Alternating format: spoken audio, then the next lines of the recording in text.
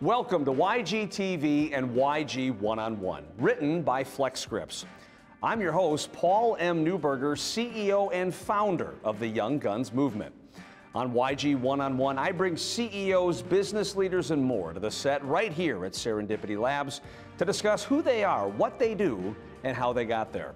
YG One on One, written by FlexScripts, is just one of four shows here on YG TV, our very own channel designed to help you grow and succeed in your career, business, and life.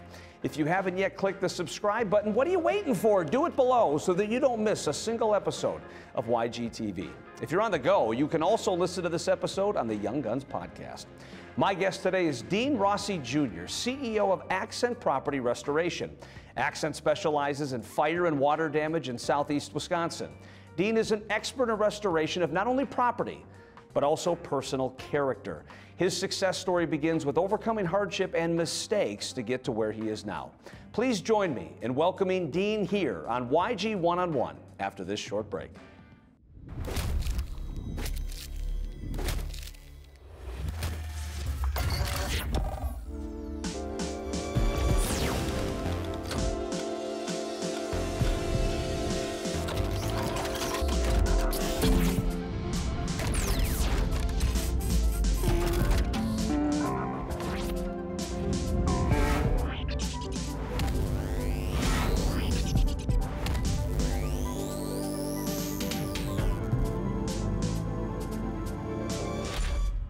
If you're a CEO, listen up. Odds are you're paying too much for your employee benefit pharmacy spend. How do I know? I work with FlexScripts. They're the PBM police, delivering their average client 15 to 20% savings on their pharmacy benefits. Think how much money that is. FlexScripts makes sure your PBM keeps their promises and meets your guarantees. And if they don't, FlexScripts holds them accountable and gets you what you deserve. Stop paying too much for your pharmacy benefits. Get FlexScripts, the PBM police, on your side. Start the conversation today at flexscripts.com. That's flexscripts.com. For more than 80% of families, today's medical billing practices are confusing. At HPS, our goal is to improve the healthcare experience for the patient by making medical bill payments less stressful. In Wisconsin, that's all made possible by our comprehensive independent healthcare provider network. We simplify billing and lower costs for everyone involved in healthcare and offer various ways for individuals to pay without breaking the bank.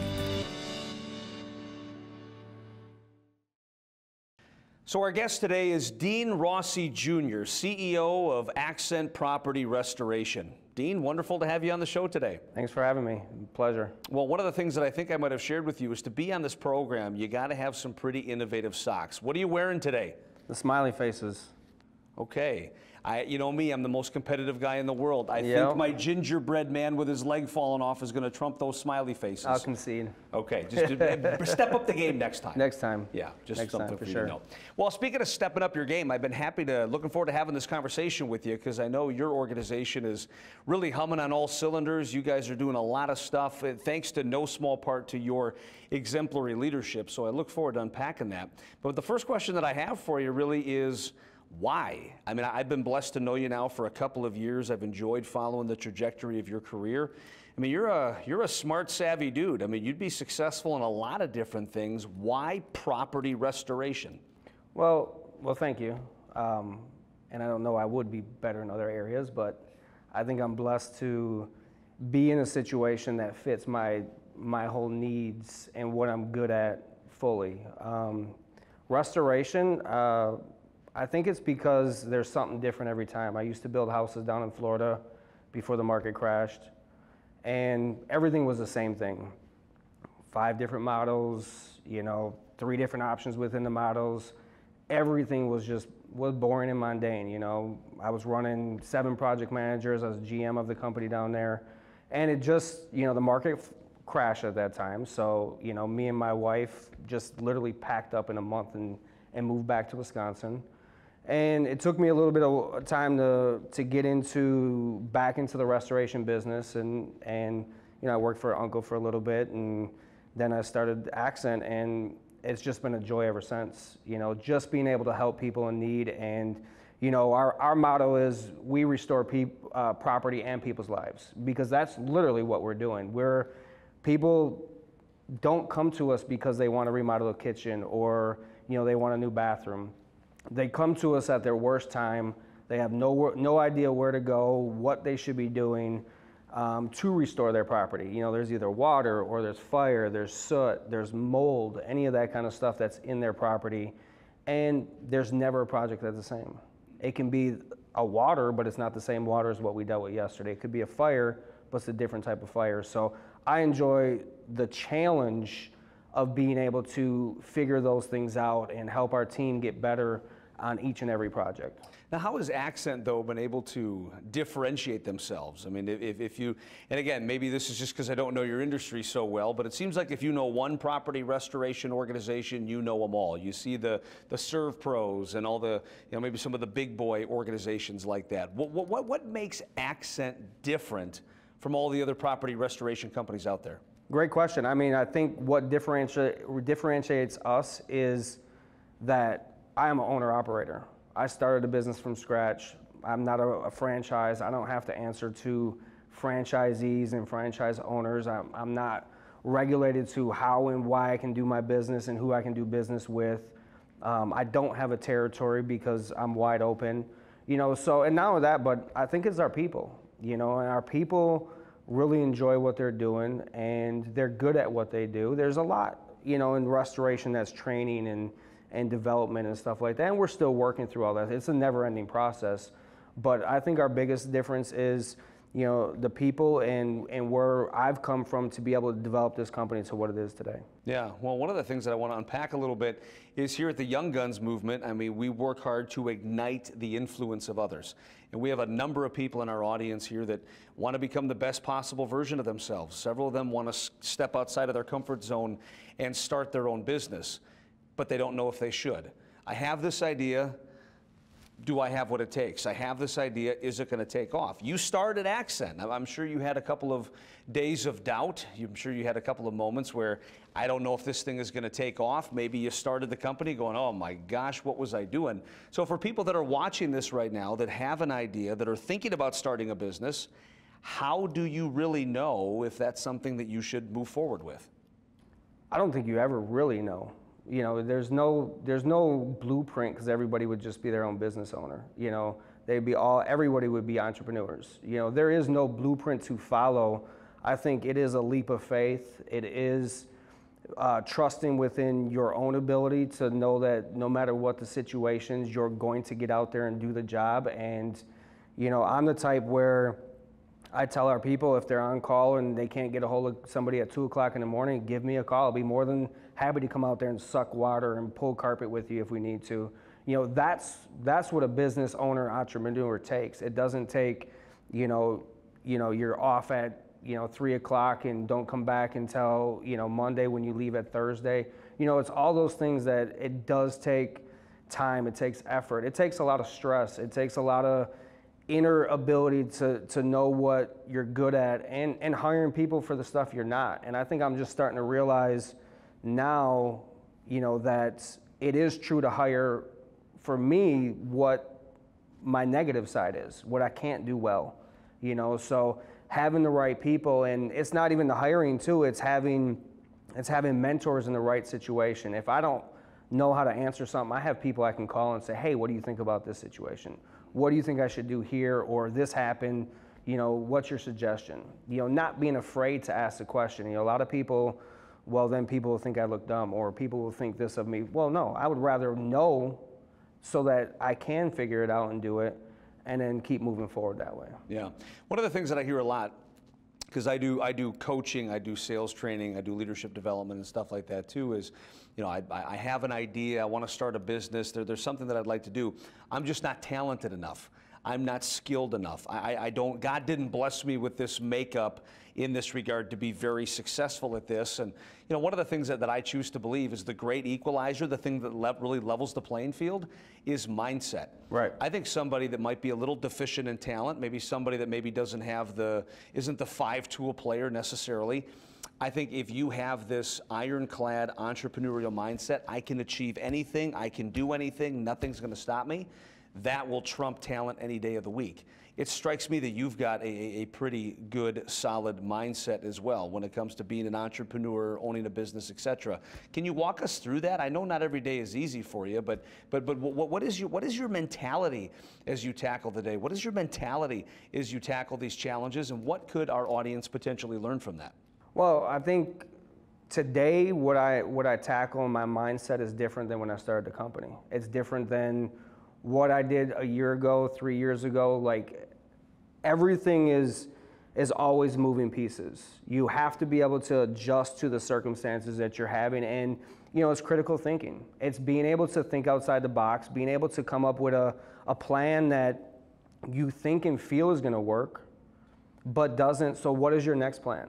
You know, I feel like as soon as I make a decision, I go with it, and then if there's repercussions or something doesn't work, I'm very quick to turn around and, and make a different decision if I have to to right the ship to the to make up for the bad decision, decisions that I made because I make bad decisions. You know, I've built a business off of making mistakes. The problem, the difference is, I feel like, is I don't make them twice. You know, I try to learn from everything that I've done to be able to build myself to the person that can make more informed decisions and know where where you have to get to to be able to get to that point. You know, so it doesn't take necessary talent. It doesn't take you know a great mind to do it. It just takes the, the ability to want to get to, to there and find the right tools and the actions and the people to get to help you get to that point. Nobody can get there by himself. But is that something you can teach though, or is that something that you're born with? I mean, can, can, can you teach somebody to want it, or is that just part of their makeup that they're born with, and there's not a whole lot you can do about that?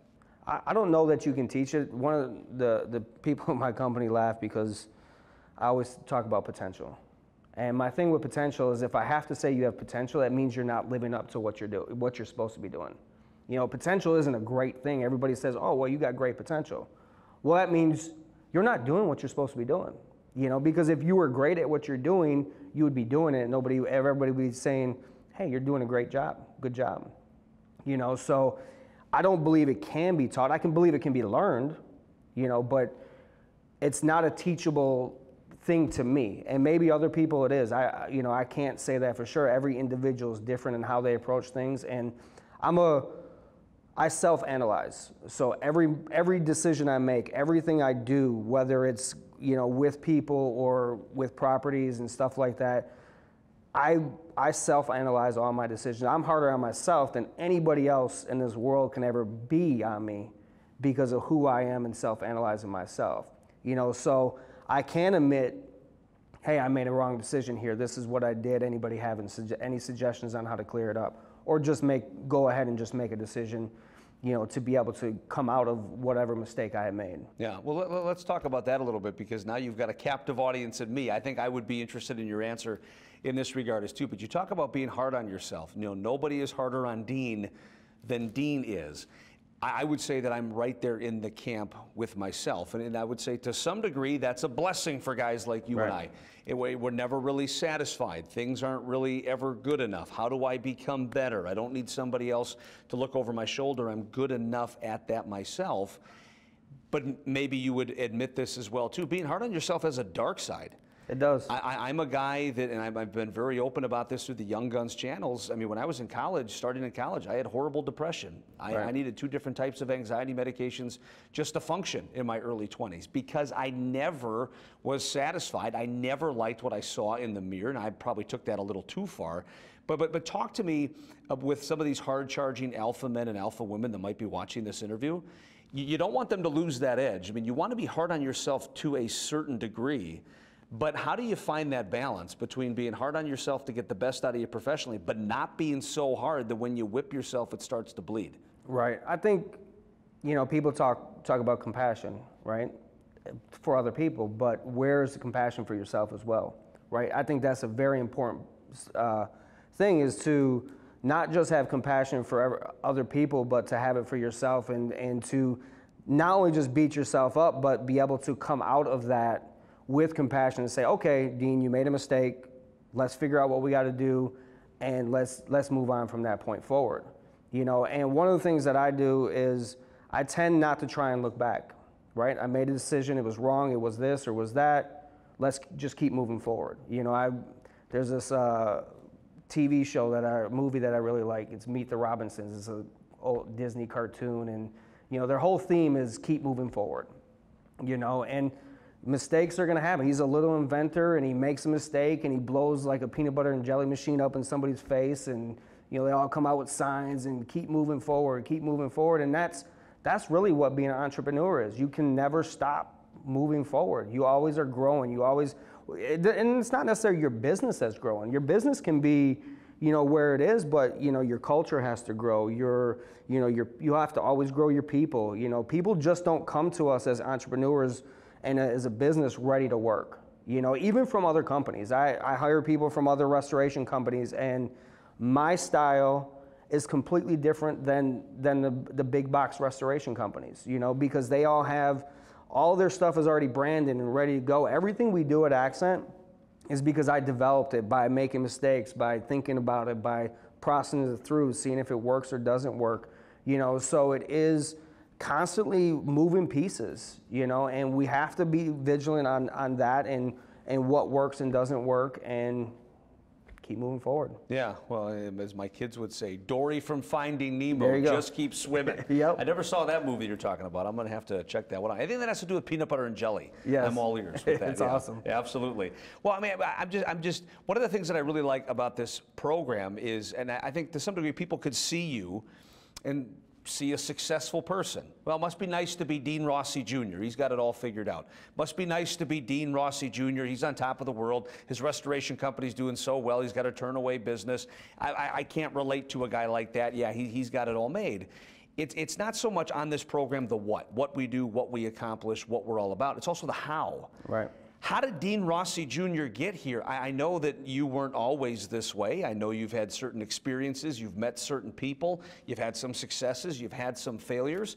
And what I like on this program is people can look at successful people like you and better understand your story. So I'm just curious, how, how did, how did you become this version of Dean Rossey Jr.? Well, you know, when something I'm, I'm not proud of and ashamed of and all that and those kind of things is I was incarcerated when I was 18 years old you know, so being able to figure out what I did wrong, how I did it, and then being able to take that and be successful later. You know, it's not it's not an easy thing being incarcerated. Everybody says, "Okay, rehabilitate yourself. Take yourself into society and society will accept you for who you are at that point." Well, that's that's not true. You know, it's not as much as people want it to be true, it's just not you know, and I had to really define who I was. I had a lot of time to think, you know, when I was there and, and self analyze myself and how am I going to, one, never come back, which I knew almost from day one that I would never, never return. It wasn't who I was, it's not who I wanted to be. You know, I made a mistake, and no matter, no matter the, the level of the mistake, it was a mistake. And it hurt a lot of people you know, my family, other people, it affected a lot of lives that it made me see that this wasn't the life that I wanted to live. You know, so then thus getting out and coming out to, uh, and I feel a society that doesn't uh, accept people that have been in, in, in, prison or incarcerated or in jail and those kind of things because it, it is such a, you know, down upon, looked down upon you know, and we all make mistakes, you know, but to me, it's, and I always tell people, it's not the mistake you made, it's how you recover from that mistake and what you do with yourself afterwards. You know, so not only did I have to deal with my past and, and what I've done, you know, but I have a father that was in the, in the business as well, and he, he made a lot of mistakes. He, you know, had a lot of lawsuits against him, and so my name was his name, you know, so I had to not only deal with myself and what I was going through and how to figure my life out, but had to deal with his his issues that he left on the table for me to deal with as well. You know, so I didn't come from you know my office is is in Mo- uh, city of Milwaukee. I'm one of the only contractors left in the city of Milwaukee. That's a restoration company. My office is literally 10 blocks from where I grew up. You know, and I love the fact that I'm able to come back to that area because it's not the best neighborhood. But I bring things back to that neighborhood. I bring a business, I bring, you know, employment, I bring all those things that people look at what I did at, at 18 and not what I've done 26 years later to develop that. You know, so for me, that's the biggest thing is it's not a perfect thing in life. You know, you're gonna have successes and failures. And part of my drive is the fact that I feel like I missed out by the time that I spent in. You know, and, and how do I get that back? I can never get it back. But what I can do is live life to the fullest of what I want to live it to. You know, and I enjoy, you know, my family. I have three daughters and a, and a wonderful wife, you know, who before she even dated me knew what my past was and fully accepted it without any hesitation. You know, that to me is is success for me, you know, and who I am today is is who I am, not what I did 18 at 18 years old and 26 years ago. You know, not who my father is, not any of those issues that I've had to deal with through throughout my career, you know, in the restoration industry. Yeah. Well, I mean, first of all, I appreciate you sharing that. I can see by the emotion on your face. Yeah. It's not necessarily the most pleasant or wonderful things to talk about, but It's very uncomfortable. I, I, I can imagine. But but you know, you're, you're you're blessing us with your testimony. You're blessing us with your story, and it kind of leads me to this other follow up question that I have too. And and I, I think the difference between a successful person and somebody who never realizes their full potential. I don't think that's a very wide gap. The people that quit usually quit just before they have their breakthrough. And, and, and I, I look at success and, un, and people that are not successful, the difference is two and four. And I think your story really kind of talked about this too. I think people that never quite realize the full, their full potential, to use your word, or a lot of the success, have a two mentality. Your incarceration. How could society do this to me? How could Right. somebody else involved do this to me? Your father, just based on what you said, kind of puts you in a tough position. How could my dad do this to me? Well, when you have a two mentality, it's a victim mentality. You're Right. passive, you're reactive, everybody's to blame but yourself. But when you have a four mentality, this incarceration happened for me. As crazy as it sounds, this might actually be a blessing. Right. My father and, and what he left me, rather than thanks for doing this to me, Dad, well, actually, this might have happened for me. When you have a four mentality, everything, good, bad, or otherwise, is a blessing in your life, even if you can't see it right away. Right. H- How, how was the incarceration, how was this situation with your father a four mentality or, or, or a four result as opposed to a two result? Right. Well, and for me, you know, religion does come into it. You know, I am I'm a believer in Christ, and um, I believe God had a plan. You know, it, I don't talk about those kind of things out loud to a lot of people because I don't want it to seem fake or any of that kind of stuff. But my example and what can be become because you realize it is your issue. It didn't happen to you. You committed that or you did that action.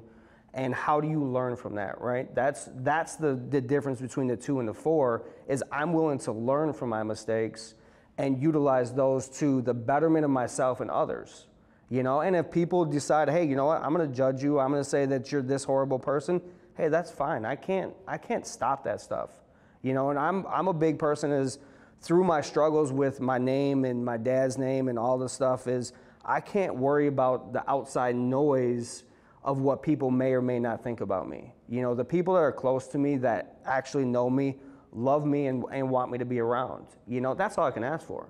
You know this this whole two and four is is a lot of reason why a lot of people don't succeed is because they think everything was done to them as you said and not for them. For me i feel like if i wouldn't have went in when i did i would either not be, i would definitely not be in this position. You know i'd either possibly be working for somebody you know i might be a drug addict or you know heaven forbid dead at this point you know because that was my my path you know at that point. So for me incarceration was the only result i felt like that could have made such a substantial impact on my life to make me turn around it was either you know what i'm going to be in the rest of rest of my life because of recidivism and all that other stuff that we always hear about and it's true you know I, it's definitely true or I can make the changes that I need to make for myself, accept all responsibility. Like I had to really look in the mirror and say, I did this. You know, I used to go around in the beginning and say,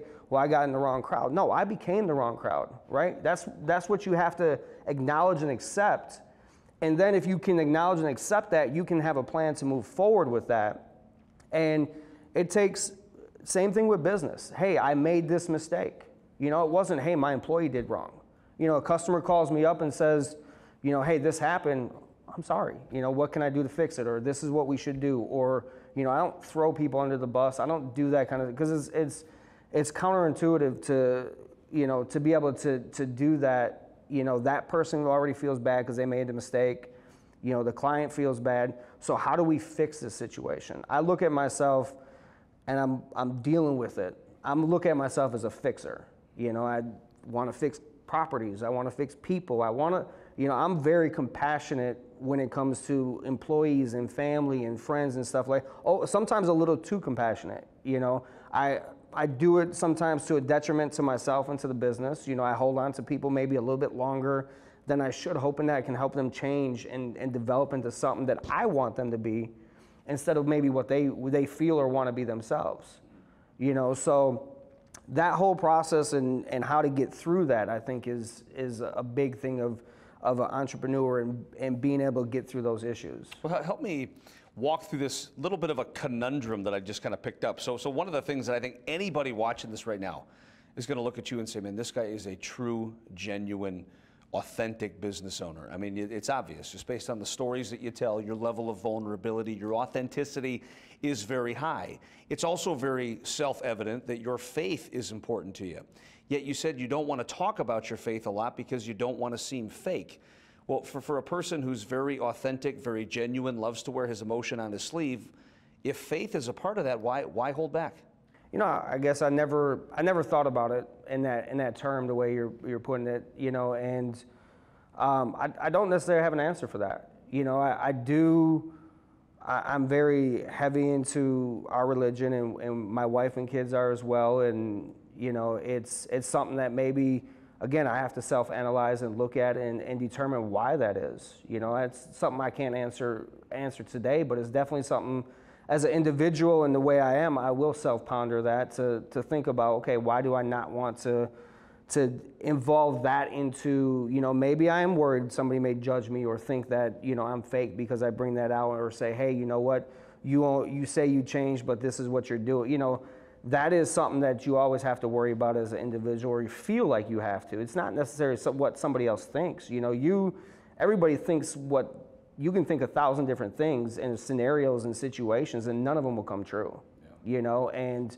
you know so i don't necessarily have an answer to that but you know i eh, there's certain things that are personal to me that i just don't talk about you know? And for me, my religion with with Jesus and God is very personal to me. You know, I'm a very self-analyzer. I think everything through my head, through inside of my head, and you know, self-soothe. I self-soothe myself. You know, those are all kinds of things that you know I've done, and you know, maybe it is the time spent alone and having nothing but my own thoughts to to think about. You know, but it is a self-analysis, and you know, going through that. You know, so there's there's no de- definitive answer that I can give, but it, it is definitely something that, you know, is preached to us that we should be wearing Christ on our sleeve. We should be, you know, we should be, everybody should know that we are people of God and we are, you know, God's chosen and all those kind of things. And, you know, it is important to me, but, you know, maybe I'm just not ready at that point sure. yet. Yeah, know? and like you said, that, that's a very personal decision. I would just look at you as having a very compelling story. What God's been able to do right. through you, yes. I, I think is a, is a, very positive testimony to who He is. Just, right. and I think you're a living embodiment of that. And I do believe it is God. It was God's plan. It is God's plan. I'm still working through God's plan. There, I'm not done yet. You know, there is still a plan. Whatever, whatever it ends up being, it's still there somewhere, and we'll never know until it happens. And then you're looking back and you're like, okay I can see the dots. Yeah, well, well, something tells me Dean Rossey Jr. is just getting started. So, yeah, I, I, know there's a lot of runway left. One of the uh, last questions that I'd have for you is well, what I like is yours is a story of hope, redemption. encouragement, inspiration. And, and I think society, and I'm, I'm painting with a, a, very broad brush here, but society likes to point fingers. Society Right. likes to write people off. And it's funny, I'm, I'm watching Rudy right now on Yeah. Netflix. And you talk about, talk about writing somebody Right. off. He was written off by everybody, including his parents. Right. And he just had that intestinal fortitude to keep going. And I obviously some, see some similarities here. Uh, if, if you were sitting across from somebody who is just going down the wrong path in life, I know you don't like the word potential, but let's just say that th- this person, this man, this woman has a lot of potential, but they're hanging out with the wrong crowd.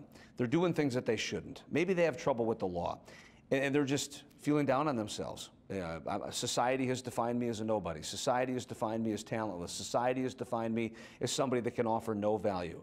As somebody who has been there, what advice would you have for that individual to encourage them to keep going and say, hey, th- th- there is a potential business virtuoso buried underneath there somewhere?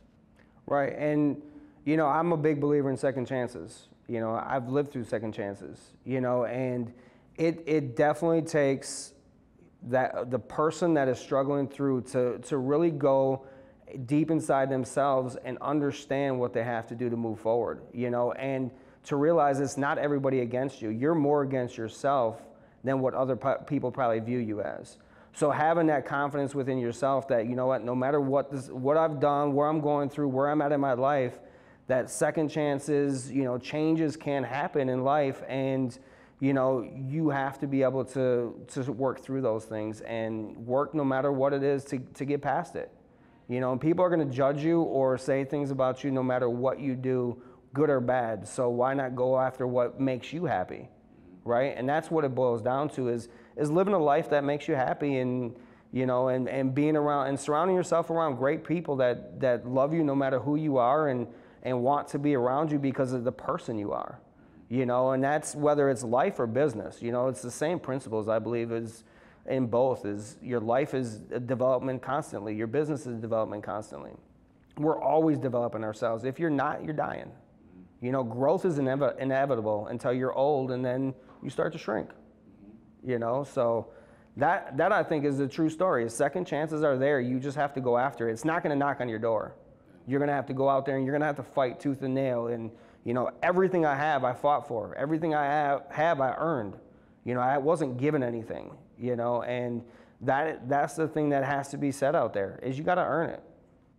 So, so what would you say is next for Dean Rossey Jr.? I mean, like I said, I, I said it half kiddingly, but I really think you're just getting going. I mean, a guy with this level of talent and ability, a guy that has the story that you do, a guy whose business is doing some of the amazing things that you are. I mean, are, are there other things that you want to achieve? Are there other dragons you want to slay, mountains you want to climb? I mean, what, what is the what does the future look like for a guy that has as much talent as you do?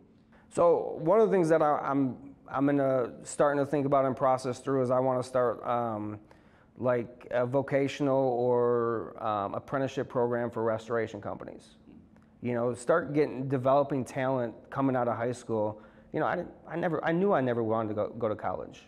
You know, so having some other outlet besides being forced to go to college when I knew it wasn't for me, you know, is is a great thing. And the restoration brings so much opportunity for people. You know, starting from the bottom at 18 years old, and you can grow to be a estimator, project manager, CEO, general manager.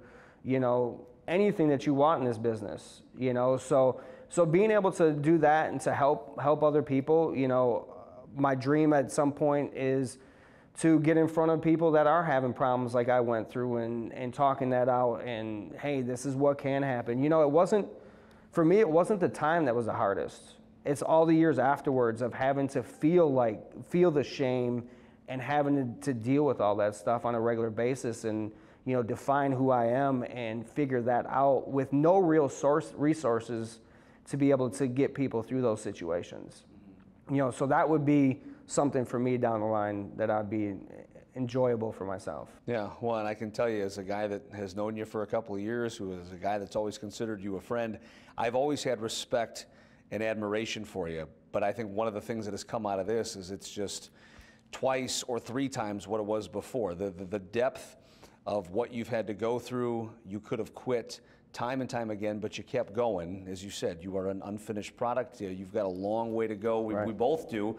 But, but all the things that you've been able to accomplish, the lives that you've been able to touch, and the, the, the person that you've been able to become is just amazing. And people say, you know, Paul, must be nice to hold a TV show. You know, you get your face on social media and all those other kind of things. Yeah, as great as that is, my favorite thing is I leave these conversations more inspired than when I sat Right. down, and today was no exception. So, Dean, I just wanted to say thank you for, for blessing our audience. Thank you for blessing me, and thank you for blessing so many people by being true to yourself and, uh, and, and being a real embodiment of what it takes to have tenacity and overcome challenges. Well, thank you for giving me the outlet to be able to do it. Absolutely. Appreciate it. Wonderful to talk to you. Thank you.